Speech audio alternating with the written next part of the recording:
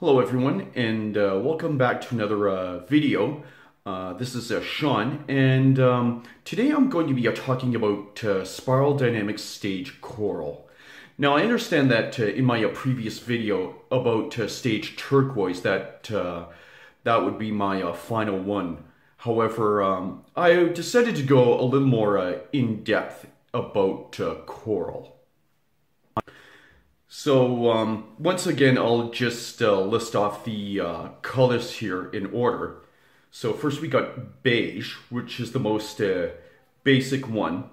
And then uh, it's followed by purple, and then by red, and then by blue, and then orange, and then green.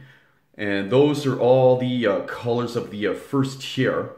And as we move into the second tier, we've got yellow, then turquoise, and then finally coral. So what exactly constitutes uh, somebody who has reached this uh, high level? Well, uh, basically, uh, stage coral is considered to be the uh, second tier equivalent of uh, stage red. Only at this stage, one is more focused about their inner being and consciousness. You could say somebody who has reached a stage coral wants to uh, work hard at uh, enlightening uh, themselves uh, spiritually. They are putting in such a uh, conscientious effort into uh, spiritual awakening. And um, for some who really want to pursue that route, it can be a, a very good thing. However, um, personally, I highly do not recommend uh, growing into this uh, stage. If um, you're uh, an everyday person who has to uh, work for a living, it can actually be uh, dangerous uh, growing into this. Stage coral requires one to go very deep within themselves and to isolate themselves from the general public. So more or less it's a quite an intense uh, spiritual uh, purging of uh, what no longer uh, serves uh, an individual.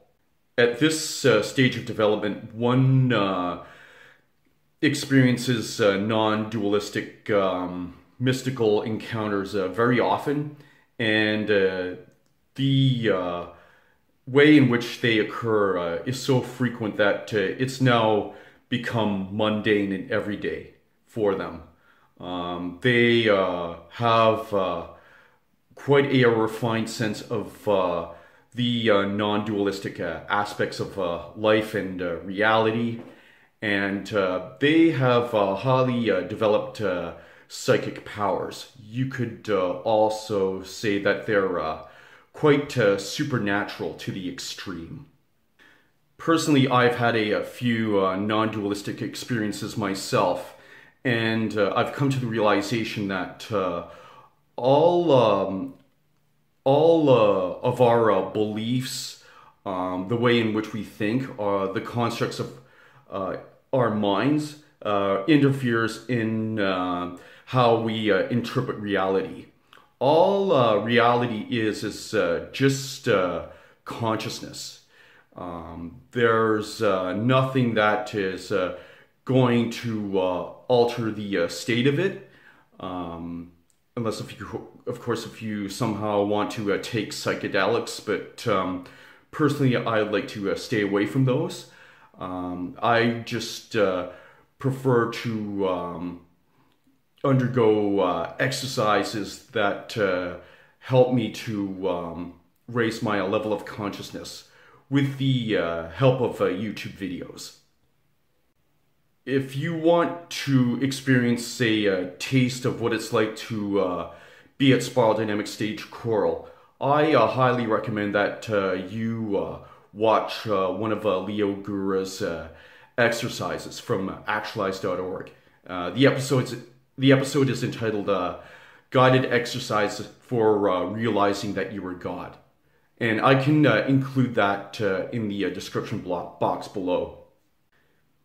Basically, when one reaches a spiral dynamic stage coral, Uh, they don't uh, really uh, care about uh, everyday matters uh, that uh, the lower stages are concerned about anymore.